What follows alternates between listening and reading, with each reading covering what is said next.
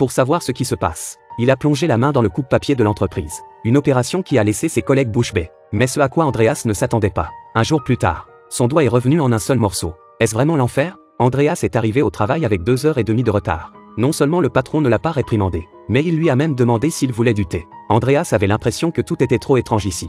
Mais il ne pouvait pas sortir. Il vaut mieux vivre ici en paix. De plus, il y avait de quoi manger et boire. Et il n'avait pas besoin de travailler dur. Il voulait donc d'abord se trouver une petite amie. Ce jour-là, pendant le déjeuner de l'entreprise, Andreas s'est délibérément assis avec une collègue. Après quelques minutes de conversation, elle accepte d'être sa petite amie. Ce soir-là, la relation est confirmée. Le lendemain, il a obtenu une licence de mariage. La rapidité de cette relation était trop importante pour Andreas. Mais tout était étrange ici. Andreas n'y a pas prêté attention. Mais il n'a pas fallu attendre longtemps pour que ils se sont éloignés l'un de l'autre à cause de leurs personnalités incompatibles. Andreas est tombé amoureux d'une autre collègue. Ils sont allés au cinéma et ont mangé des glaces ensemble. Bientôt, ils sont en